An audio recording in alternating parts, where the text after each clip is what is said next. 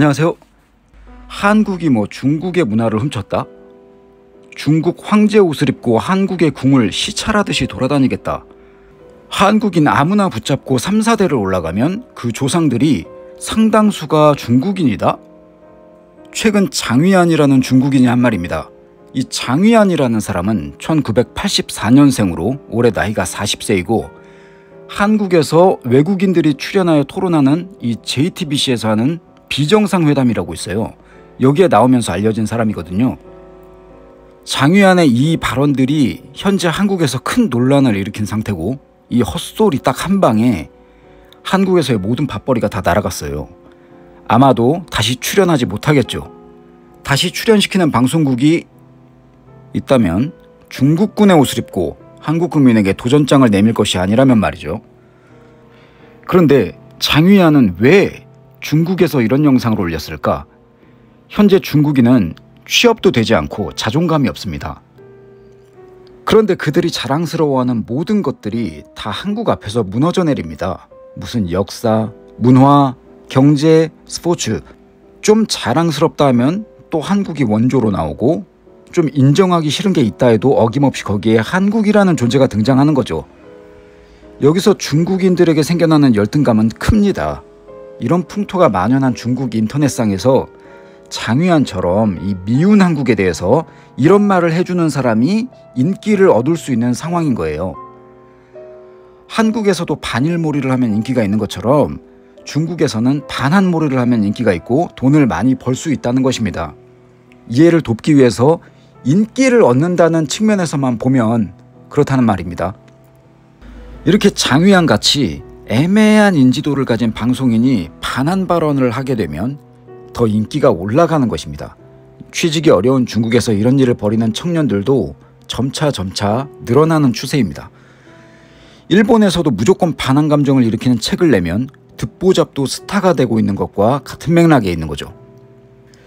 G9 장위안이 했던 말을 다시 보면 과연 그 말들이 사실일까요? 완전히 분석합니다. 보기 전과 전후의 차이를 경험해 보세요. 첫째, 한국이 중국 문화를 훔쳤다. 이건 뭐 일고의 가치도 없고 그 반대로 일방적으로 중국이 한국의 문화를 훔치고 있는 거죠. 바로 두 번째, 중국 황제 옷을 입고 한국의 궁을 시찰하듯이 다니겠다? 자, 잘 들어보세요. 이 영상을 듣기 전에는 여러분도 저 장유한과 비슷하실 거니까요. 이거는 중국인들이 조공의 의미를 착각하고 있는 데서 비롯되는 행동입니다. 그러니까 이 조공을 바쳤다라는 의미를 특정 국가들이 와서 막 살려달라고 조아리고 읍소했던 것쯤으로 착각하고 있는 것에서부터 나오는 행동인 거죠.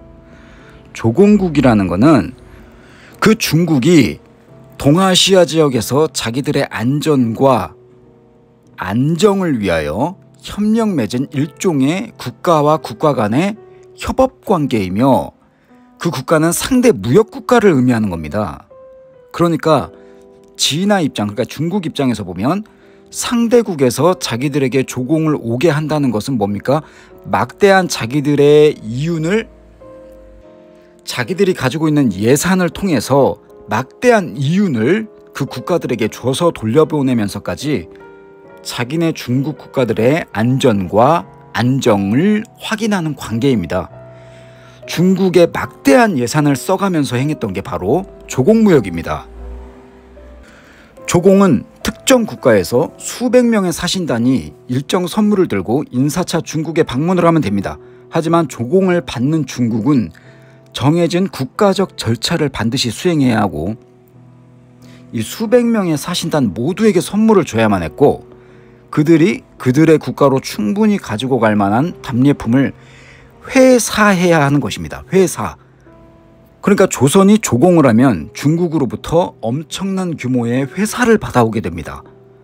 국가 대 국가의 의례 행사예요. 여기서 아무거나 줄 수 없죠. 설마 국가 대 국가로 선물을 주는데 애들 장난감을 준다면 조선이 과연 뭐라고 했겠습니까? 아니 형님, 저희가 애들도 아닌데 이런 거를 주십니까? 이런 거 주시는 잡배를 형님으로 모실 수나 있겠습니까요, 저희가? 어, 벤틀리 한 대씩은 딱 놔야 형님이 대접이 가는 거지요. 이렇게 하는 거죠. 그냥 조공하는 게 아니에요. 그냥 선물 들고 인사를 하러 가요? 왜 가요?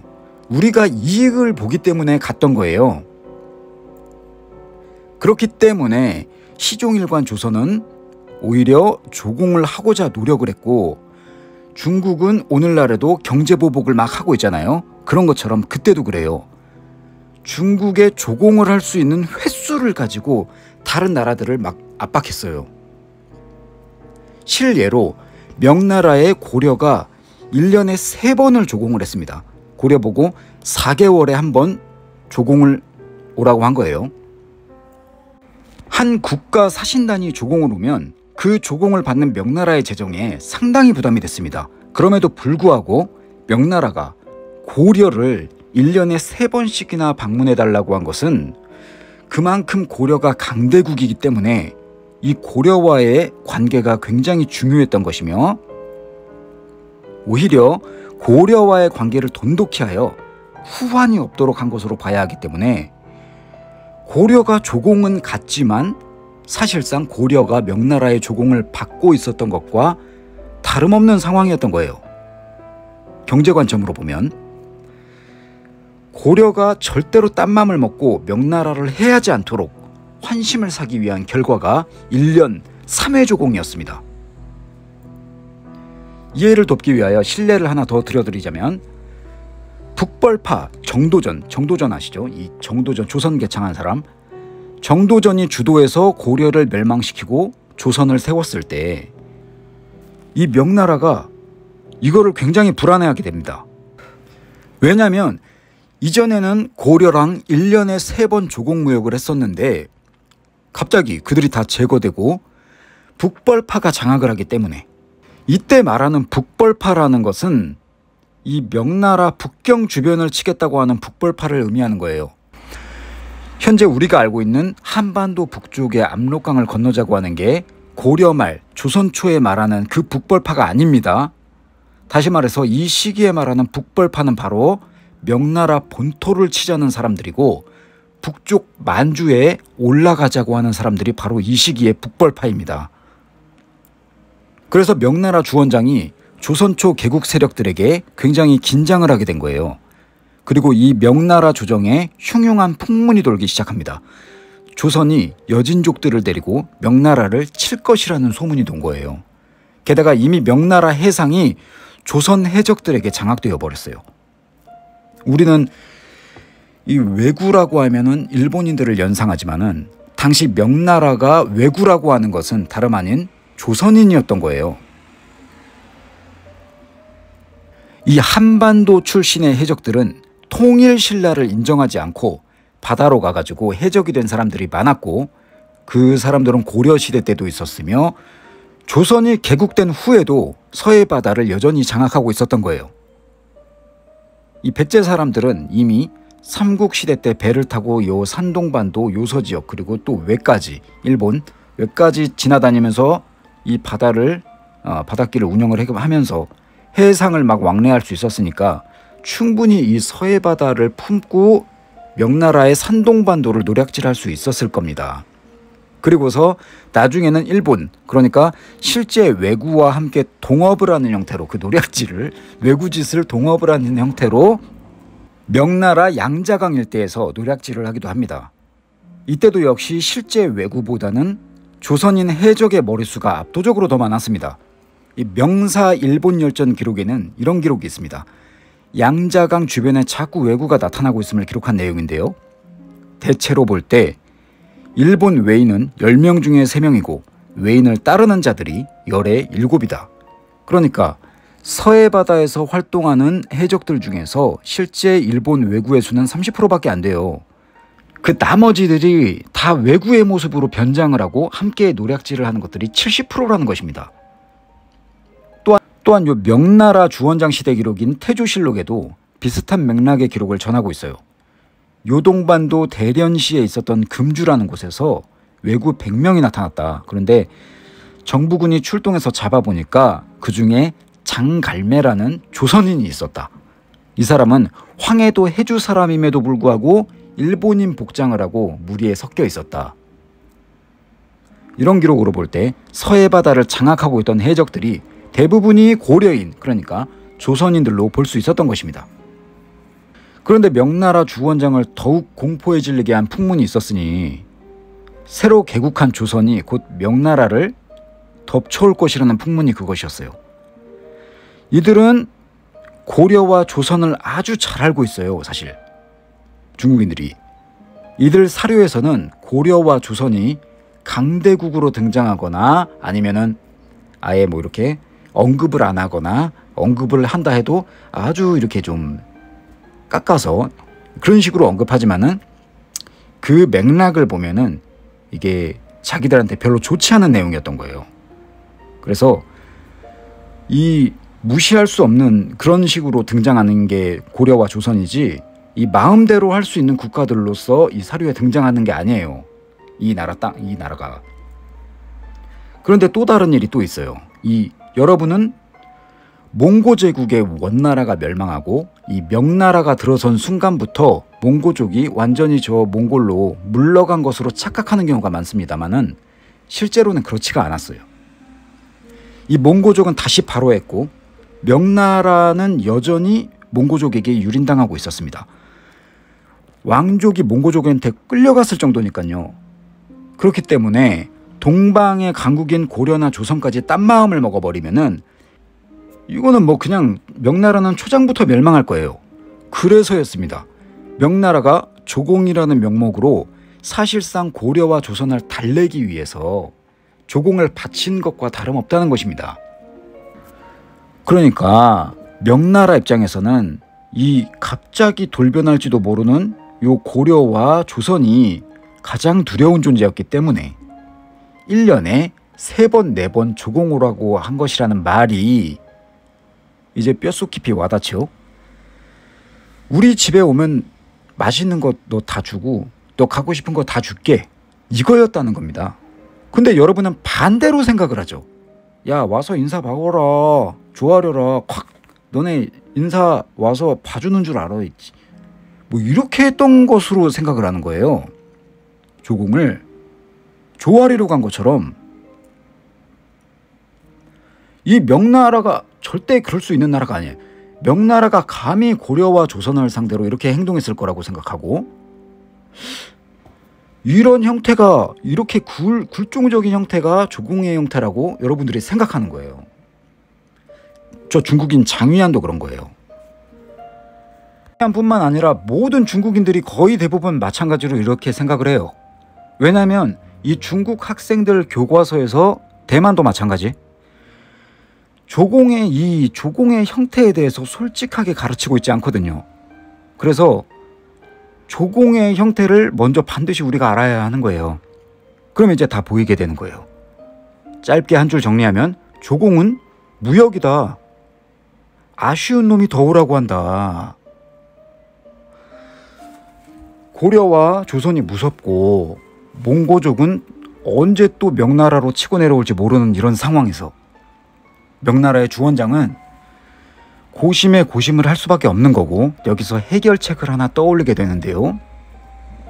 바로 조선더러 명나라의 조공을 오지 못하도록 조치하는 게 그것이었어요. 뭐라고 했다고요? 그러니까 조선이 개창되고 북벌파가 바로 하잖아요. 그러니까 명나라가 이 조선한테 명나라로 조공을 못 오도록 했단 말이에요.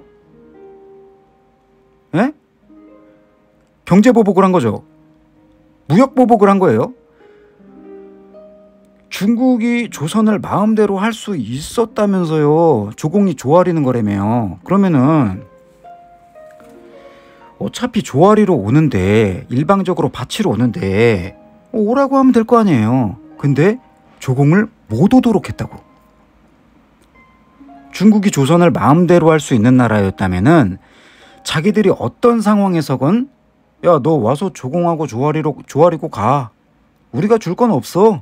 이렇게 하면 되는 거 아니었어요? 그런데 명나라인지 뭔지 하여간 우리 쪽에서 북쪽을 치려고 하니까 조공을 못 오게 했다니까요. 이건 뭐냐? 조공이라는 것은 자기들만 조선에 줄 게 많다는 것을 말해주는 거거든요, 이게. 조선이 이익을 보는 거기 때문에 조선이 조공을 오지 못하게 하는 무역보복, 불이익을 준 거란 말입니다. 따라서 조공은 역시 다시 확인할 수 있지만 무역인 거고 조선에 흑자가 남는 무역이다 이겁니다. 그러니까 이 조공 제재라는 것을 요즘 말로 하면 바로 경제보복, 무역보복이었던 것이죠. 명예 주원장은 조선에서 온 사신단 대표인 남재에게 이렇게 말합니다. 앞으로는 3년에 딱 한 번만 오라고. 지금까지 1년에 3번 갔잖아요. 근데 3년이면 원래 원래대로라면 1년에 3번이니까 3년이면 9번을 갈 수 있었잖아요. 그런데 3년에 총 9번이 아니고 이제 뭐라고요? 3년에 딱 한 번만 오라고. 엄청난 경제적 제재를 가해버린 거죠. 명나라가 조선에. 이제 이 조공 못 가게 하는 게 어떤 건지 느낌이 팍팍 오시죠. 여러분은 이제 이 조공을 함으로써 얻어지는 실제 경제적인 이익에 대해서 알고 계시는 거예요, 이젠. 조공을 주면 우리가 조공을 그러니까 주면은 명나라는 그냥 받는 게 아니에요. 반드시 회사를 해야 합니다. 회사를 그 회사의 형태는 우리가 조공했던 그만큼을 그대로 비슷하게 돌려받는 게 아니에요. 우리는 몇 배를 더 받아야 되는 거예요. 그것이 회사입니다. 그것이 조공 회사 무역이에요. 조공 무역이에요. 그러니까 똑같은 말로. 게다가 이상한 거 가지고는 못 돌아가요. 이상한 거 가지고 돌아가면은 또 조선 본국에서 정치적 위상이 또 떨어지잖아요. 우습게 보일 것 같다고 하면서. 그리고 명나라 스스로도 그래요. 이상한 거 줘서 돌려보내면은 혹시 조선이 딴 마음 먹지는 않을까? 이런 생각을 하면은 그러니까 요즘으로 비유하자면 삐삐 줘서 보내면 안 되고 앞으로 새로 나올 스마트폰으로 줘서 보내야 하는 거죠. 그래서 이 조공을 가면은 엄청난 선물과 회사물을 가지고 본국으로 귀국할 수 있는데 그동안 고려 때부터 지금까지 우리가 1년에 3번을 조공을 갔었는데 이제부터 3년에 딱한 번만 오시라니 여러분은 이것을 받아들이시겠습니까? 아니면 뭐라고 하시겠습니까? 100이면 100 이렇게 대꾸할 겁니다. 아니 황제폐하 우리 그냥 저 하던 대로 1년에 3번 찾아뵙죠. 우리는 동방예의지국입니다. 명황제의 안녕을 확인하지 않고서 저희가 어찌 신하로서의 예를 기피하겠습니까? 폐하, 제가 좋게 말씀을 드리잖아요. 예? 이렇게 대답하실 겁니다. 그러니까 이 조공이라는 것은 엄청난 이윤과 정치성을 가지고 있다는 거예요. 이것이 바로 중국과 주변국들 사이에서 이루어진 조공 무역의 실체입니다. 여러 번 자꾸 말씀드리지만은 명나라와의 이 틀어진 조공 무역 관계는 조선 태조 이성계의 아들 이방원이 난을 일으켜 가지고 이 정도전 같은 북벌파들을 제거하고 자기가 실권을 잡고 나서 다시 또 이 조공 무역이 명나라와의 조공 무역이 다시 정상화되는 거예요. 그러니까 명나라가 두려워하던 북벌파가 제거되고 정도전 같은 이 조선에서 그래서 이 북벌 조짐이 사라졌으니까 명예 주원장이 크게 안심하고 조공 무역을 허가해 준 겁니다. 다시 또 이 과정에서 조선의 영토와 역사마저 중국에 팔아넘기지 않았나 그런 의심도 받고 있습니다. 그래서 추후 조선은 어쨌든 간에 1년에 무려 4번씩이나 조공을 갈 수 있게 됩니다. 앞선 고려보다도 한 번 더 조공을 할 수 있게 된 것이죠. 조선에서 북벌론이 일어나자 조공 제재를 가했던 명나라가 조선이 북벌파들을 제거하고 안정감을 주니까 조공을 다시 원래대로 시행하게 했다. 이거 어떻게 봐야 합니까? 우리 입장에선 그냥 이거예요. 알았어, 알았어. 안 때릴게. 우리한테 그냥 주던 거 계속 줘. 안 때릴게. 이거잖아요. 그럼 명나라 입장에선 뭐예요? 어 그럼 받으러 와. 내가 줄게. 이거예요. 이게 바로 조공의 실체예요. 이게 조공의 모습이에요, 이게. 이것은 매우 매우 두렵고 중요한 국가에만 특별히 행해진 조공 횟수였습니다. 1년에 연 3, 4회가. 그러면은 그러면은 반면에 일본은 명나라에 몇 번을 갔을까요? 거기는 명나라에서 아직 아예 오지 말라고 해요. 왜냐?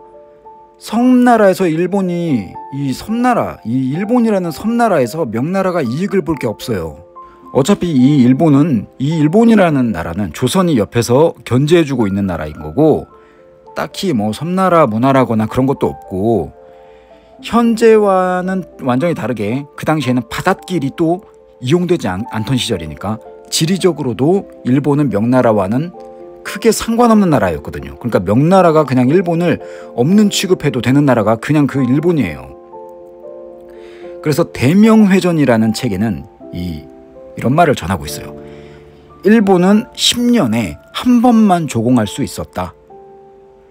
조공이라는 게 그냥 상대국이 뭐 갖다 바치기만 하고 인사하러 오는 거면 명나라가 왜 또 일본은 또 왜 오지 말라고 해요? 어차피 받기밖에 안 하는데 조아리로 온다며. 그러면 오라고 하면 되는 거 아니에요? 오고 싶어 미치겠다는데 일본이. 그러면 오라고 하면 되잖아요. 근데 왜 명나라가 굳이 일본을 오지 말라고 했겠어요? 왜? 아니 쓸데없는 거 받고 나가는 게더 많으니까 이게 조국무역이에요.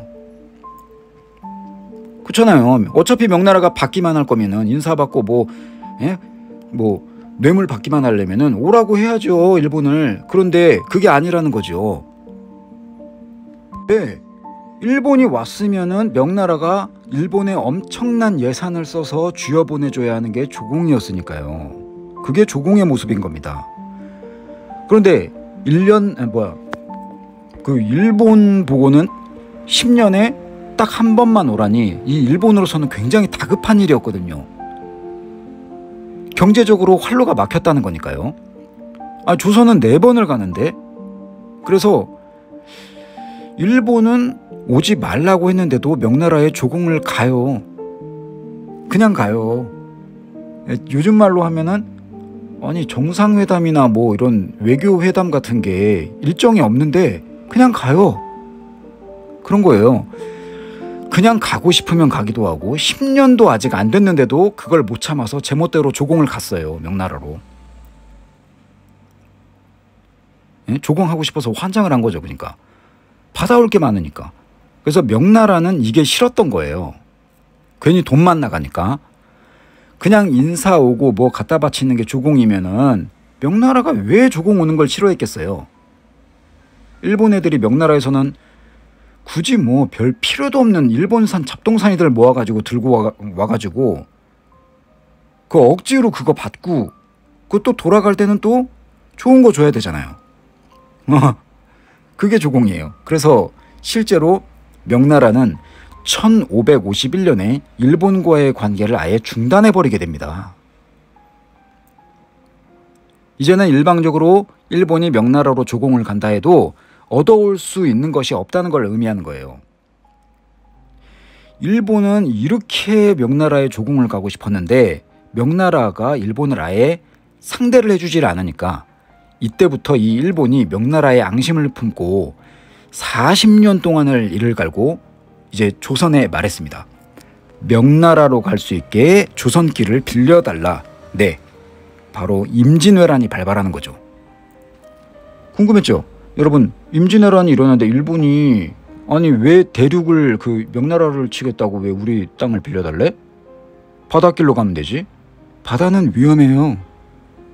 일본에서 한반도 남부로 오는 것도 목숨 걸고 와야 되는 거예요, 사실. 그래서 대륙길이 필요한 거예요. 그래서 그 말을 한 거예요. 조공이 막혔기 때문에. 예. 경제적인 관점에서 보면은 그래서 그런 거예요. 그래서 이 임진왜란을 경제적인 측면으로만 분석하게 되면은 이 경제 활로가 막히니까 앙심을 품고 전쟁을 일으켰던 거예요. 그리고 이 임진왜란은 포로 전쟁이라고 명명되기도 할 만큼 일본이 이 조선 포로를 그렇게 많이 데려갔어요. 그들은 대개 보면 조선의 장인들이었어요. 기술자들이란 말입니다. 전쟁은 결국 조선의 승리로 끝났지만은 씁쓸하게도 일본은 그때부터 문화의 꽃을 피우고 포로를 여기저기 팔아서 경제력도 올라오게 되는 결과를 맞이하게 됩니다. 그러면서 점차 시간이 흘러서 또 유럽에서 일본으로 온 상인들과 물꼬를 트고 바닷길을 이용하게 되고 물론 뭐 그 전부터도 그랬지만 유럽 사람들과 그랬지만 어쨌든 이 바닷길이 점차 활성화되면서 그 바닷길을 이용해서 나중에는 조선 서해로 올라와서 이 무력 시위도 하고 강화도 조약을 체결하게 되기도 하는 겁니다. 이 사실에서도 알 수 있는데 이 임진왜란 때 일본이 명나라로 갈 테니까 조선길만 좀 빌려달라. 이렇게 우리한테 얘기하지 않았습니까? 이 말을 보면 이 바닷길을 통해서 일본에서 명나라로 다이렉트로 간다는 것은 사실 불가능하다는 것을 내포하고 있는 거 아니겠어요? 그런데 어떻게 옛날에 일본 왜구들이 서해에서 노략질을 했겠느냐는 겁니다. 그러니까 아까 말씀드린 것처럼 조선인 해적들이었던 거죠. 실제로 조선에서 일본으로 배를 타고 가는 것도 목숨 걸고 가야 했어요. 말씀드렸다시피. 그러니까 일본인이 한반도 남부까지는 목숨을 걸고 한번 와볼 수는 있어요. 그런데 명나라까지 가는 것은 위험 부담이 굉장히 컸다는 말입니다. 그래서 이 임진왜란 때 한반도 남부에서 일본과의 해전이 그토록 일어났던 거예요. 명나라로 가고 싶으면 그냥 명나라로 다이렉트로 가면 되는데 그게 어려우니까 자꾸 이 임진왜란 때 한반도 남부에서 일본과의 해전이 그토록 그토록 일어났던 것이죠. 그 중앙에 중간에 한중간에 이순신 장군이 있었던 것이고요. 그런데 이 일본 역사 교과서에서는 자기들이 중국에 조공을 안 했다고 적시하고 있어요. 그러면서 조선은 또 명나라에 조공을 많이 했다고 강조하죠. 이 조공이라는 것이 무역이라는 것을 자기들도 언급은 하고는 있는데 그 마치 일본 자기들이 조선처럼은 비굴하지 않았다. 뭐 이런 식으로 아이들을 가르치고 있다는 것입니다. 하지만 조공이라는 것은 비굴해서 가는 게 조공도 아니고 일본은 명나라와 조공하고 싶어 안달이 났어도 버림받았다는 것이 역사적 사실이었죠. 마지막으로 장유한이 이렇게 말했죠. 한국인을 아무나 붙잡고 여러분은 아무나 붙잡고 3, 4대를 올라가면은 조상들이 상당수가 중국인이다. 여러분 3, 4대 할머니 할아버지가 중국인이세요? 이 중국 한족들의 비상한 논리인데 그들은 늘 이런 식입니다. 그런데 결론부터 말하면 이 한족이라는 것은 세상에 거의 없는 미신 같은 존재라는 겁니다. 왜냐하면 이 수천 년의 중국 역사 세월 속에서 이 한족이 중, 그 이민족들에게 짓밟힌 세월이 거의 절반이기 때문이에요. 중국 수천 년사에서 중국이 중국 한족을 유린한 대표적인 이민족들을 크게 보면 선비족, 몽골족, 만주족입니다. 만주족은 다른 말로 여진족이에요. 한족들에게 그 전에도 여러 가지 일들이 있어 왔겠지만은 정말 대표적으로 선비족이 그 옛날부터 한족들을 지배해 왔습니다. 많은 사람들이 한족이라는 것 자체는 잘은 몰라도 이 중국이 한족의 역사를 가진 한족 국가인 줄 알고 있어요. 우리와 함께 거대한 전쟁을 치렀던 이 많은 중국 국가들도 모두 다 그게 한족 중심의 국가인 줄 착각하고 있는 경향이 있어요. 대표적으로 우리와 그 살수대첩으로 유명한 수양제의 수나라와 안시성 전투 등으로 유명한 당태중의 당나라 역시 그 많은 사람들이 한족들의 한족 국가라고 생각하는 경향이 있다는 말입니다. 여러분들은 대부분 이 양제의 수나라와 이세민의 당나라를 그 전통적인 중국의 한족 국가라고 의식한다는 말이에요. 하지만 놀라운 사실은 그들은 모두가 선비족 족속이 운영하던 선비족 국가였던 것입니다. 선비족의 그 족속들이 중원을 장악하고 다시 용기 충천하여 거대한 병력을 앞세워서 다시 만주와 한반도를 향해서 침공해 왔던 거예요. 선비족이 운영했던 이 진화 그러니까 중국, 차이나, 진화는 차이나예요. 이 진화 중원 국가들은 유독 많아요. 수나라, 당나라는 물론 전현, 후연, 북위까지도 모두 선비족들의 국가예요. 이 지역적인 부분들은 구체적으로 묘사하지 않고 딱 한 말씀만 드리는 것으로 하겠습니다. 이 긴 세월 동안 선비족에 의하여 이 한족의 인구가 3분의 1로 감소하게 됩니다. 굳이 뭐 이런 거를 구체적으로 묘사하지는 않겠습니다. 참고하시고 역사를 접하세요. 거의 뭐 멸종을 한 거죠. 중요한 것은 이거예요. 선비족 같은 이민족들이 한족에게 동화되거나 뭐 통합, 융화 같은 개념으로 된 것이 아니라 거의 뭐 한족을 멸종시켰다고 했죠. 일방적으로 한족을 제거하고 지배를 했다는 사실이에요. 예? 동화된 게 아니에요. 동화를 뭐 그런 식으로 동화가 돼요. 무슨 말도 멸종을 시켰다니까 거의. 멸종을 시켜서 동화가 돼요? 어디 그뿐입니까? 진시황이 어쩌고 하는 그 진시황 역시 우리 동이족입니다. 진시황의 진나라는 동이국가인 겁니다. 우리나라의 신라와 진시황 그러니까 김씨 김씨예요 이 사람 그리고 가야 수로왕은 모두 다 그 조상이 소호 금천으로 동일합니다. 또한 우리와 전통적으로 함께했던 이 말갈족이라는 것은 곧 여진족이며 여진족은 만주족과 동의어입니다. 그러니까 말갈족이 여진족이고 여진족이 만주족이니까 만주족 역시 말갈족이라 할 수 있는 거예요. 그러니까 여진족으로 통일해서 말씀드릴게요. 셋 다 똑같은 종족을 말하는 겁니다. 바로 이 여진족이 진화 중원을 지배했던 적은 금나라, 청나라 때입니다. 이 청나라는 최근까지 그 나라가 청나라예요. 중국 나라가 청나라예요. 그리고 이 몽고족, 몽고족은 원나라 등으로 진화 중원을 지배했습니다. 이 여진족과 몽고족이 진화 중원에 가서 한 일도 딱 한 말씀만 드리겠습니다. 이 둘이 도합 한족의 인구수를 또 3분의 1로 또 줄입니다. 참고하시고 역사를 접하시기 바랍니다. 그리고 이 그나마 남겨진 한족들은 누가 누군지도 몰라요. 누가 한족인지도 사실 이쯤 되면은 그마저도 당연히 그 오랜 세월이 흐르면서 다 섞였습니다. 그래서 오늘날 진화에는 많은 종족이 삽니다. 그리고 많이들 섞일 수밖에 없었죠. 근데 지금 이 중국 진화, 그러니까 진화는 자기들이 뭐 한족 나라고 한족 국가 뭐 이렇게 하는데 그거는 정치 이념이에요. 그거에 불과해요, 그냥. 명분이에요, 그냥. 그러면은 이 한국인들에게는 이런 역사가 있을까요? 이렇게 짓밟힌 역사가 있을까요? 우리는 한족 같은 역사가 없어요.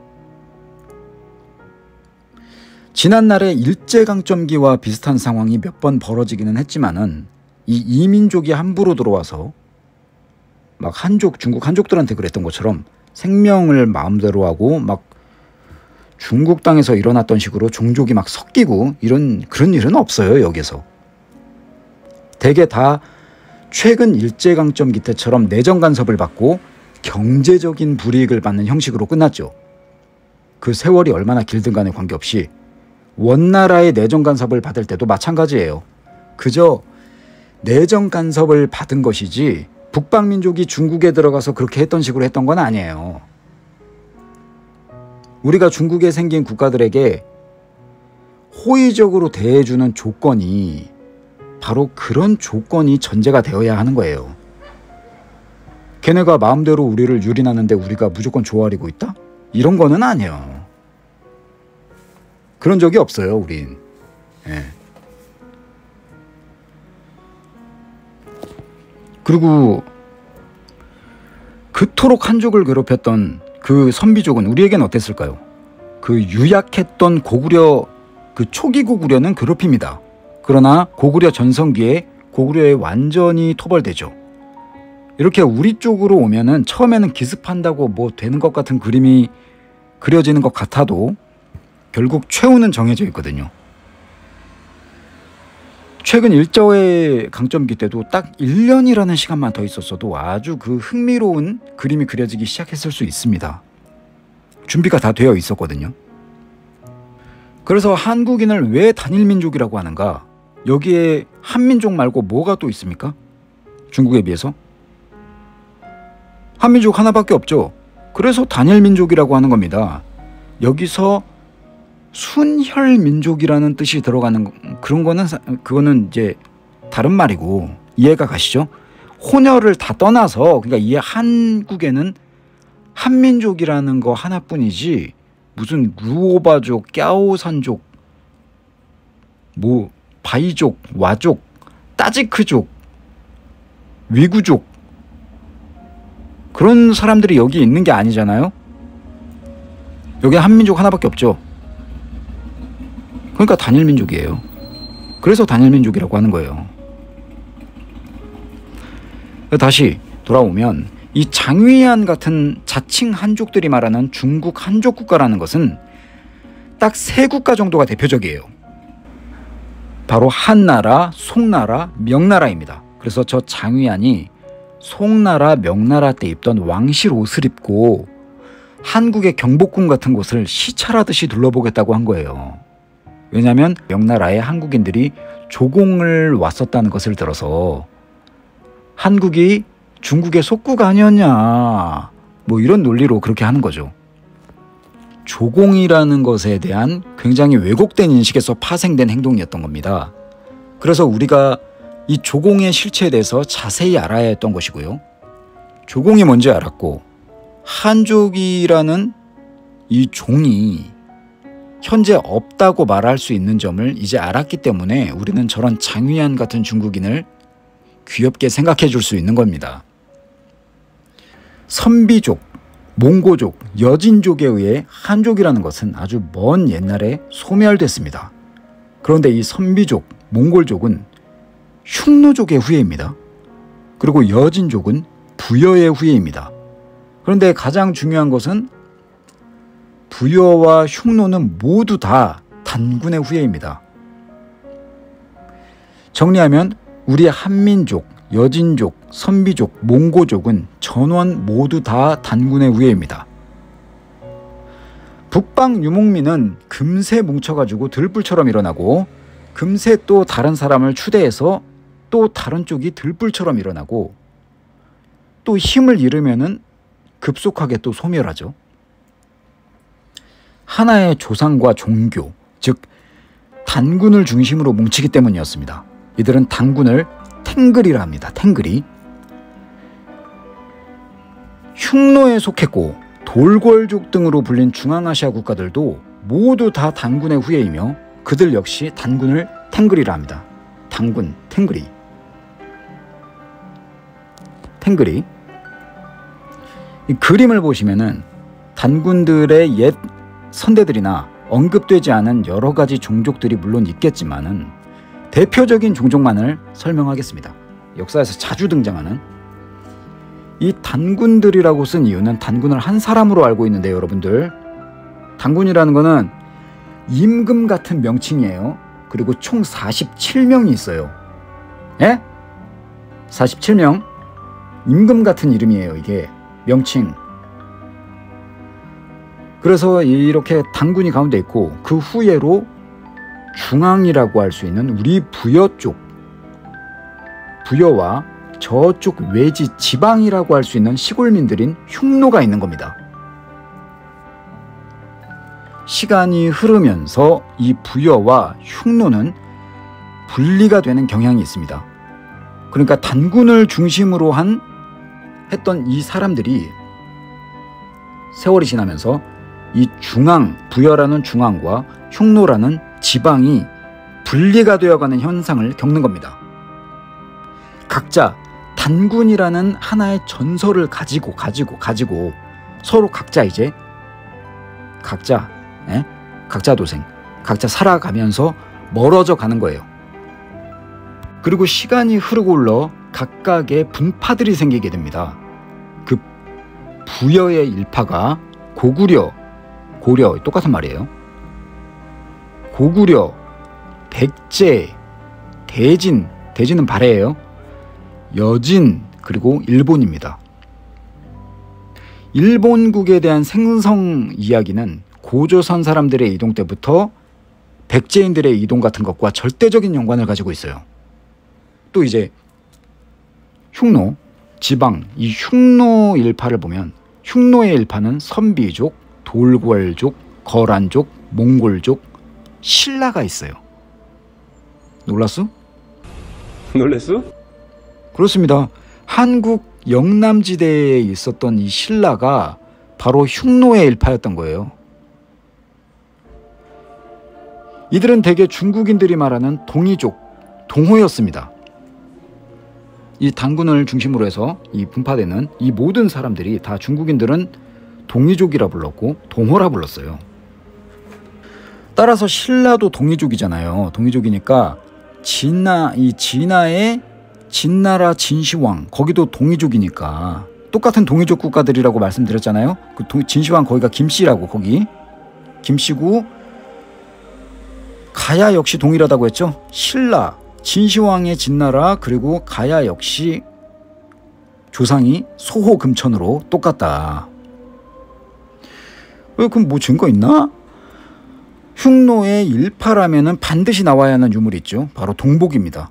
이 유목민은 북방에서 끊임없이 이동하잖아요.